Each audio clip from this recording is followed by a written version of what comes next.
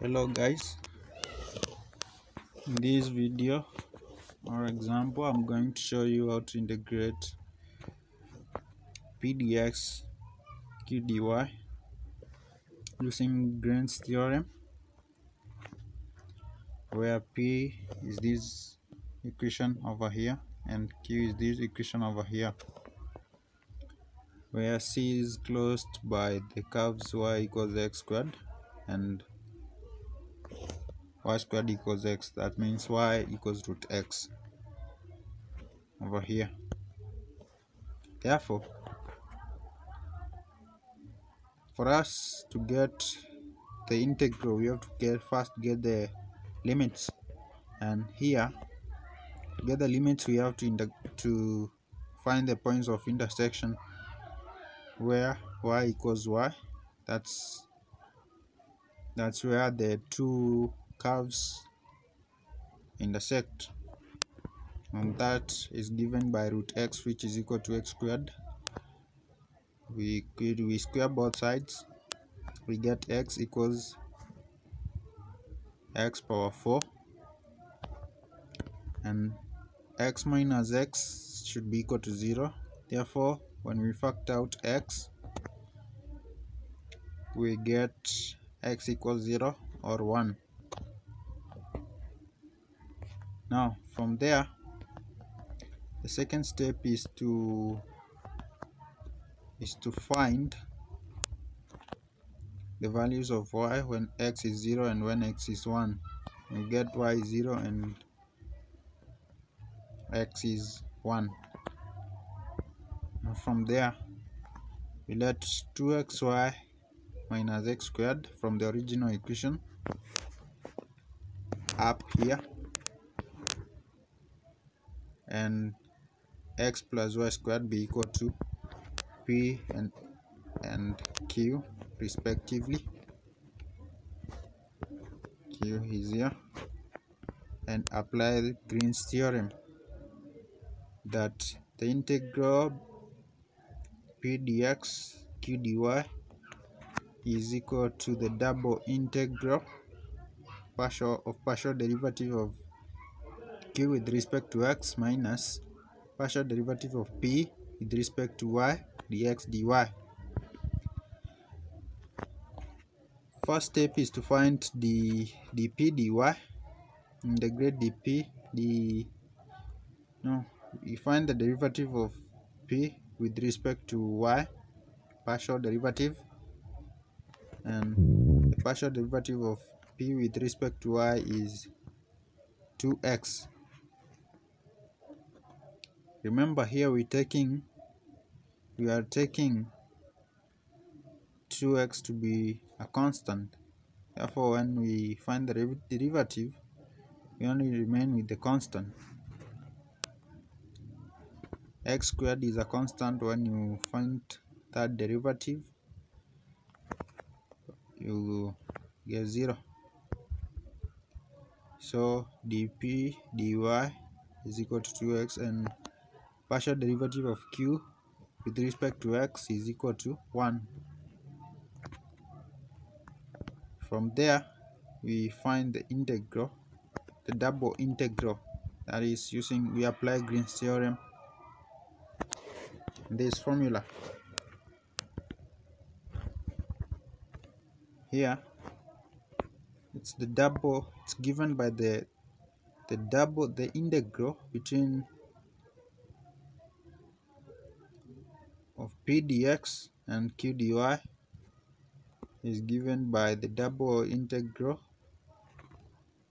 of the partial derivatives of p with respect to y and or and q with respect to x. That is q dx minus p dp dy partial derivative. We integrate from the limits along the x-axis 0 to 1 and along the y-axis x squared to root x. Root x is we have a limit.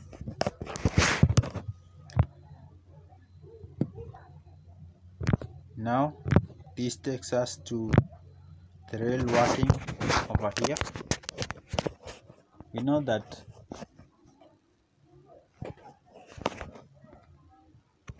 we know using using this equation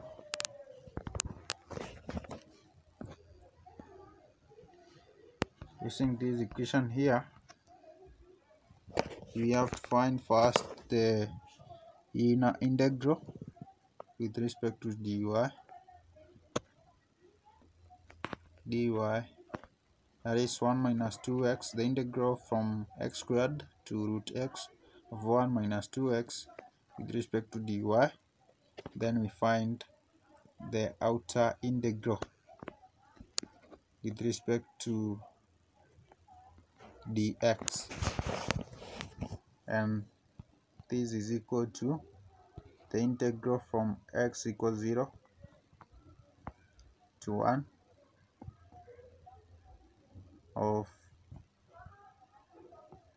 of when we integrate 1 we get y. And when we integrate 2x we get 2xy with respect to y that is then this is from x squared to root x. Dx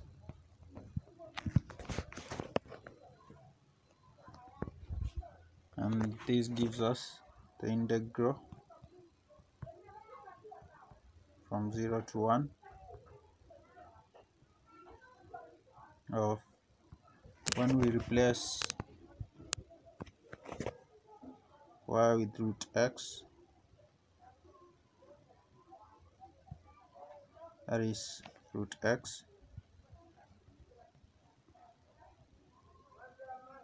Minus.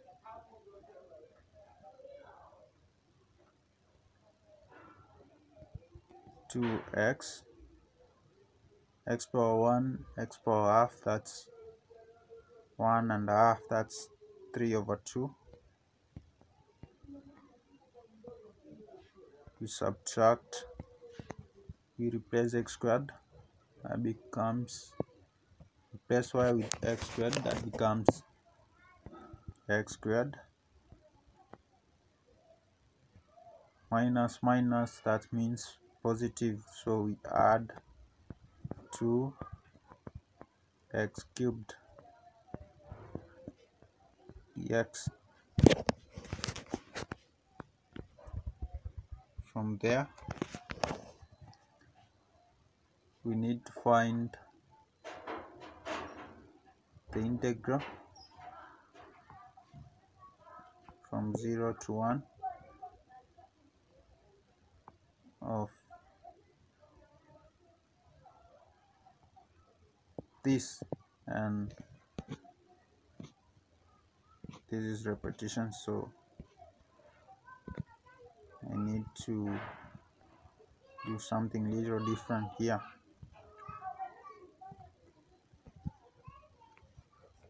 Find the integral there.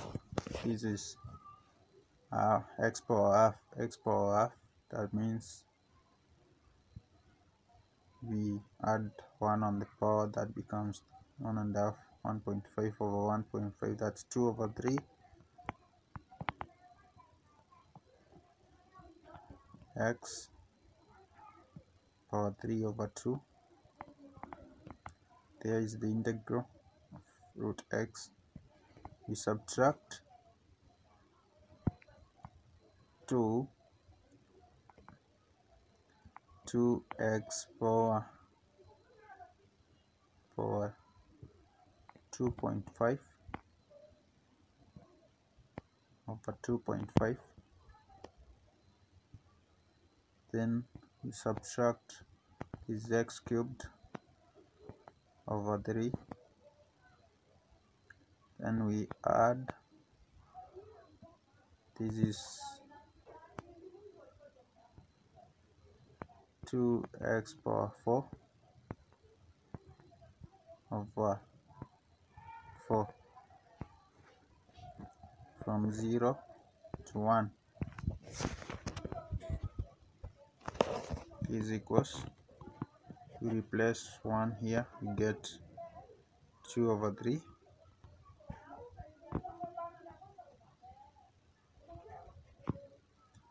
minus we replace 1 here we get 2 over 2.5 that's that's 4 over 5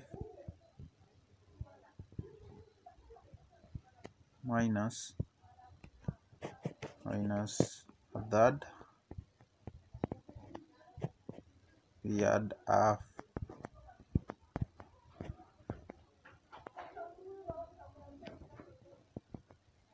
we subtract. When we replace 0 in this equation? 0 with x we get 0 this gives us our final answer which is which is 1 1 out of 30 equivalent to 0 point zero three three three three.